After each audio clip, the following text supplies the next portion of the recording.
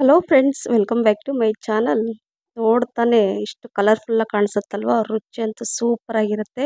ಯಾವ ರೆಸ್ಟೋರೆಂಟ್ ಯಾವ ಹೋಟ್ಲಲ್ಲೂ ಸಿಗಲ್ಲ.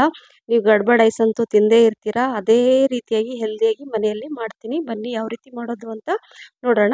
ನೋಡಿ, ಇಲ್ಲಿ ನಾನು ಸಬ್ಜಾ ಸೀಡ್ಸನ್ನು ಮೊದಲೇ ನಾನು ಒಂದು ಸ್ಪೂನಲ್ಲಿ ಹಾಕಿ ನೆನೆಸಿಟ್ಟಿದ್ದೀನಿ ಸೈಡಲ್ಲಿ ಇದು ಈಗ ನಿಮ್ಗೆ ತೋರಿಸ್ತಾ ಇದ್ದೀನಲ್ವಾ ಇದು? ಸಾಬುದಾನ ತುಂಬ ಸಣ್ಣದಿರೋ ಸಾಬುದಾನನ ತೋರಿಸ್ತಾ ಇದ್ದೀನಿ. ತುಂಬ ದಪ್ಪ ಇರೋದಲ್ಲ, ದಪ್ಪ ಇರೋದಾದರೆ ನೀವು ಒಂದು ತಾಸು ಮುಂಚೆನೇ ನೆನೆಸಿಡ್ಬೇಕಾಗತ್ತೆ. ಇದು ತುಂಬ ತೆಳು ಇರುತ್ತೆ ನುಣ್ಣಗಿರುತ್ತೆ. ಇದು ತಕ್ಷಣ ಕೂಡ ನಾವು ಈ ರೀತಿಯಾಗಿ ಮಾಡ್ಕೋಬೋದು. ತೋರಿಸಿ ನೀವು ಯಾವ ರೀತಿ ಯಾವ ರೀತಿ ನಾವು ಮಾಡ್ಕೋಬೇಕು ಅಂತ. ನೋಡಿ, ಈ ರೀತಿಯಾಗಿ ಇರುತ್ತೆ ಈ ಸಾಬುದಾನ. ನೋಡಿ, ತುಂಬ ನುಣ್ಣಗಿರುತ್ತೆ. ಬೇಗ ಆಗುತ್ತೆ, ನೆನೆಸ್ಬೇಕು ಅಂತ ಏನೂ ಇಲ್ಲ. ಇಲ್ಲಿ ಒಂದು ಬಟ್ಲಲ್ಲಿ ನಾನು ಅಕ್ಕಿ, ಶಾವಿಗೆ ತೊಗೊಂಡಿದ್ದೀನಿ. ಹಾಗೆ ಗೋಡಂಬಿ, ದ್ರಾಕ್ಷಿ ಮತ್ತು ಬಾದಾಮಿ ಸ್ವಲ್ಪ ಈ ಥರ ಕಟ್ ಮಾಡಿ ಇಟ್ಕೊಂಡಿದ್ದೀನಿ. ಮೊದಲು ಇಲ್ಲಿ ನಾನು ಒಂದು ಬಟ್ಲಲ್ಲಿ ನೋಡಿ ಇದು ಸ್ಮಾಲ್ ಕಪ್ಪಲ್ಲಿ ಅಂದರೆ ಒಂದು ಐದರಿಂದ ಆರು ಸ್ಪೂನ್ ಅಷ್ಟು ಇದೆ ಇದು. ಇದರಲ್ಲಿ ಅಂದರೆ ಒಂದು ಏಯ್ಟಿ ಗ್ರಾಮ್ ಅಷ್ಟು ಇದೆ ಇದು ಸಾಬುದಾನ. ಈಗ ಒಂದು ಬಟ್ಲಲ್ಲಿ ಹಾಕಿ ಸ್ವಲ್ಪ ನೀರು ಹಾಕಿ ಒಂದು ಎರಡು ಟೈಮ್ ವಾಶ್ ಮಾಡಿಬಿಟ್ಟು ಇದನ್ನು ಸ್ವಲ್ಪ ಹೊತ್ತು ಒಂದು ಐದು ನಿಮಿಷ ಬೇಕಾದ್ರೆ ನೀರಲ್ಲಿ ಹಾಕಿ ಇಡ್ಬೋದು ನೀವು. ಬೇರೆ ಎಲ್ಲ ರೆಡಿ ಮಾಡೋಷ್ಟೊತ್ತಿಗೆ ಸೊ ನಾನು ತೊಳೆದ್ಬಿಟ್ಟು ಈಗ ಇಟ್ಕೊಂಡಿದ್ದೀನಿ. ಇಲ್ಲಿ ಒಂದು ಕಡಾಯಿ ನಾನು ಇಟ್ಕೊಂಡಿದ್ದೀನಿ. ಕಡಾಯಿ ಆನ್ ಮಾಡಿಬಿಟ್ಟು ನೋಡಿ, ಗ್ಯಾಸ್ ಆನ್ ಮಾಡ್ತಾ ಇದ್ದೀನಿ. ಕಡಾಯಿ ಇಟ್ಟಿದ್ದೀನಿ. ಈಗ ನಾನು ಇದರಲ್ಲಿ ಏನು ಹಾಕ್ತಾ ಇದ್ದೀನಿ, ಯಾವ ರೀತಿ ಮಾಡ್ತಿದ್ದೀನಿ ತುಂಬ ಈಸಿ ಮಕ್ಕಳಿಂದ ಹಿಡಿದು ದೊಡ್ಡವ್ರು ಎಲ್ಲರೂ ಇಷ್ಟಪಟ್ಟು ತಿಂತಾರೆ. ಈಗ ಒಂದು ಸ್ಪೂನಷ್ಟು ನಾನು ತುಪ್ಪ ಹಾಕಿದ್ದೀನಿ. ತುಪ್ಪ ಬಿಸಿ ಆದಮೇಲೆ ಗೋಡಂಬಿ, ಬಾದಾಮಿ ಹಾಕ್ಕೊಂಡು ಲೋ ಮೀಡಿಯಮ್ ಫ್ಲೇಮಲ್ಲಿ ಇದನ್ನ ಹುರ್ಕೋಬೇಕು. ಈ ರೀತಿಯಾಗಿ ಆಮೇಲೆ ದ್ರಾಕ್ಷಿ ಕೂಡ ಒಂದು ಎರಡು ನಿಮಿಷ ಫ್ರೈ ಮಾಡಿಕೊಂಡು ಈ ರೀತಿ ಸ್ವಲ್ಪ ಕಲರ್ ಚೇಂಜ್ ಆದ ತಕ್ಷಣ ನಾನು ಒಂದು ಬಟ್ಲಲ್ಲಿ ತೆಗೆದಿಡ್ತಾ ಇದ್ದೀನಿ. ಹಾಗೆ ಅಕ್ಕಿ, ಶಾವಿಗೆ ಒಂದು ಅರ್ಧ ಕಪ್ಪಷ್ಟು ಇದೆ. ಹಾಗೆ ಇದು ಒಂದು ಏಯ್ಟಿ ಗ್ರಾಮ್ ಅಷ್ಟು ಸಾಬುದಾನ, ತೊಳೆದು ಇಟ್ಟಿರುವಂಥ ಸಾಬುದಾನ ಹಾಕಿ ಒಂದು ನಿಮಿಷ ಅಥವಾ ಒಂದು ತರ್ಟಿ ಸೆಕೆಂಡು ಈ ಥರ ಮಿಕ್ಸ್ ಮಾಡಿಕೊಂಡು ಇಲ್ಲಿ ಒಂದು ಅರ್ಧ ಲೀಟ್ರಷ್ಟು ನಾನು ಹಾಲನ್ನು ಹಾಕ್ಕೊಳ್ತಾ ಇದ್ದೀನಿ. ಜಾಸ್ತಿನೂ ಆಗ್ಬೋದು, ಕಮ್ಮಿನೂ ಆಗ್ಬೋದು, ನೋಡಿಕೊಂಡು ಹಾಕ್ಕೋಬೇಕು ಸೊ ಲೋ ಮೀಡಿಯಮ್ ಫ್ಲೇಮಲ್ಲೇ ಎಷ್ಟು ಬೇಕೋ ಅಷ್ಟು ಹಾಲು ನೋಡಿಕೊಂಡು ಹಾಕೊತಾನೆ.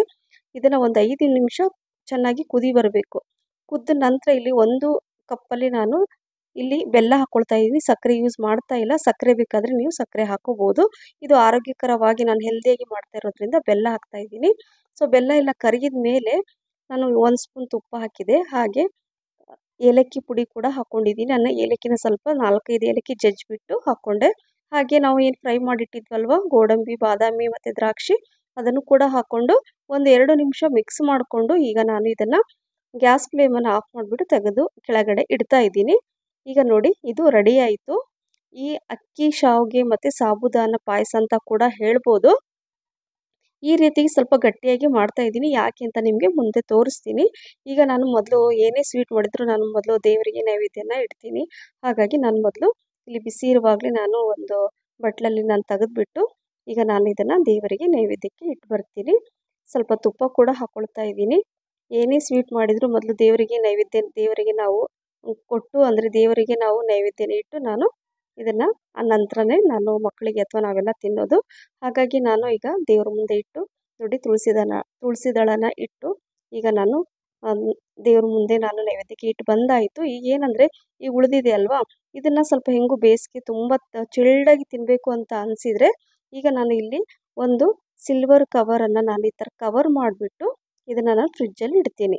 ಚಿಲ್ಡಾಗಿದ್ದರೆ ತುಂಬ ರುಚಿ ಇರುತ್ತೆ. ಹಾಗಾಗಿ ಯಾವ ಐಸ್ ಕ್ರೀಮ್ ಕೂಡ ಬೇಕಾಗಿಲ್ಲ ನಿಮಗೆ. ಈ ರೀತಿ ಮಾಡಿದರೆ ಗಡ್ಬಡ್ ಐಸ್ ಕ್ರೀಮ್ ಎಲ್ಲ ಎಷ್ಟೊಂದು ದುಡ್ಡು ಕೊಟ್ಟೆಲ್ಲ ತಿಂತಾ ಇರ್ತೀರ? ಅದಕ್ಕಿಂತ ರುಚಿಯಾಗಿರುತ್ತೆ ಅದಕ್ಕಿಂತ ಹೆಲ್ದಿಯಾಗಿರುತ್ತೆ ಮತ್ತು ಸಕ್ಕರೆ ಕೂಡ ನಾನು ಯೂಸ್ ಮಾಡಿಲ್ಲ. ನೀವು ನೋಡ್ತಾ ಇರ್ಬೋದು. ಬೆಲ್ಲನ ಯೂಸ್ ಮಾಡಿದ್ದೀನಿ. ಯಾರು ಬೇಕಾದರೂ ತಿನ್ಬೋದು. ಒಂದು ಆ್ಯಪಲ್ ಕಟ್ ಮಾಡಿಟ್ಟಿದ್ದೀನಿ. ಅಂದರೆ ಸಿಪ್ಪೆ ತೆಗೆದು ಆ್ಯಪಲ್ಲು ಸೇಬು ಕಟ್ ಮಾಡಿದ್ದೀನಿ. ಒಂದು ಬಾಳೆಹಣ್ಣು. ಹಾಗೆ ಇಲ್ಲಿ ಮಾವಿನ ಹಣ್ಣು ಕೂಡ ನಾನು ನೋಡಿ ಈ ಥರ ಕಟ್ ಮಾಡಿಕೊಂಡು ಸಿಪ್ಪೆ ಎಲ್ಲ ಹಾಕಲ್ಲ, ಈ ರೀತಿಯಾಗಿ ನಾನು ಕಟ್ ಮಾಡಿ ಇಟ್ಕೊಳ್ತೀನಿ. ಹೇಳಿದ್ನಲ್ವ ಗಡ್ಬಡ್ ಐಸ್ ಕ್ರೀಮ್ ಥರನೇ ಇದು ರುಚಿಯಾಗಿರುತ್ತೆ. ನೀವು ತಿಂದಮೇಲೆ ಗೊತ್ತಾಗುತ್ತೆ, ಒಮ್ಮೆ ಮಿಸ್ ಮಾಡದೆ ನೀವು ಮಾಡಿ ಎಲ್ರಿಗೂ ಇಷ್ಟ ಆಗುತ್ತೆ ಮಕ್ಕಳಿಂದ ಹಿಡಿದು ದೊಡ್ಡವ್ರಿಗೆ ಎಲ್ರಿಗೂ ಇಷ್ಟ ಆಗುತ್ತೆ.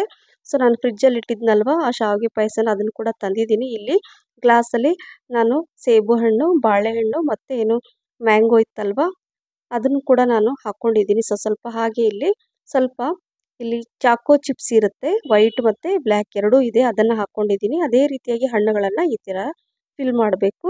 ಮೊದಲು ನಾನು ಒನ್ ಟೈಮು ನಾನು ಶಾವಿಗೆನ ಹಾಕ್ಕೊಂಡಿದ್ದೀನಿ ಅದರ ನಂತರ ಸೇಮ್ ಅದೇ ರೀತಿ ಪ್ರೊಸೀಜರ್ ಅಂದರೆ ಎರಡು ಟೈಮ್ ನಾನು ಫಸ್ಟ್ ಒನ್ ಟೈಮ್ ಹಾಕಿದ್ದೀನಿ. ನಂತರ ಇನ್ನೊಂದು ಟೈಮ್ ಶಾವಿಗೆ ಪಾಯಸ ಹಾಕಿ, ನಂತರ ಇಲ್ಲಿ ಸಬ್ಜಾ ಸೀಡ್ಸನ್ನು ನಾನು ನೆನೆಸಿಟ್ಟಿದ್ದೆ ಅಂತ ಹೇಳಿದ್ನಲ್ವ?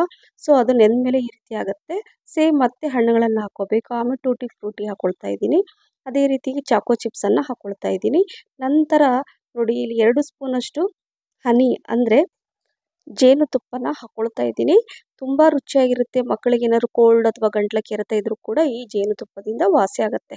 ನೋಡಿ, ಈ ಹೋಮ್ ಮೇಡ್ ಗಡ್ಬಡ್ ರೆಡಿ ಆಯಿತು. ಹೇಗನ್ನಿಸ್ತು ನೋಡ್ಲಿಕ್ಕಂತೂ ಸೂಪರ್ ಕಾಣಿಸಿದೆ ಫ್ರೆಂಡ್ಸ್ ಇದು ನಾನು ಹೇಳ್ತಾ ಇದ್ದೀನಿ, ಪದೇ ಪದೇ ನಿಮ್ಗೆ ಹೇಳ್ತಾ ಇದ್ದೀನಿ. ನೋಡಿ, ಅದು ಮಕ್ಕಳಿಗೆ ನಾನು ಕೊಡಲಿಕ್ಕೆ ದೊಡ್ಡ ಗ್ಲಾಸಲ್ಲಿ ಗಡ್ಬಡು. ಇದು ಮಿನಿ ಗಡ್ಬಡ್ ಅಂತ ಹೇಳಿ ಸ್ಮಾಲ್ ಕಪ್ಪಲ್ಲಿ ನಾನು ಮಾಡ್ತಾ ಇದ್ದೀನಿ. ಸೇಮ್ ಅದೇ ರೀತಿಯಾಗಿ ಮಾಡ್ಕೊಳ್ತಾ ಇದ್ದೀನಿ. ಸೊ ಇದರಲ್ಲೂ ನಾನು ಲಾಸ್ಟಲ್ಲಿ ಹನಿ ಅಂದರೆ ಜೇನುತುಪ್ಪನ ಹಾಕ್ಕೊಂಡು ಇದನ್ನು ಚಿಲ್ಡಾಗಿ ತಿಂತಾ ಇದ್ದರೆ ವಾವ್, ಇದರ ರುಚಿ ಮರೆಯೋದೇ ಇಲ್ಲ.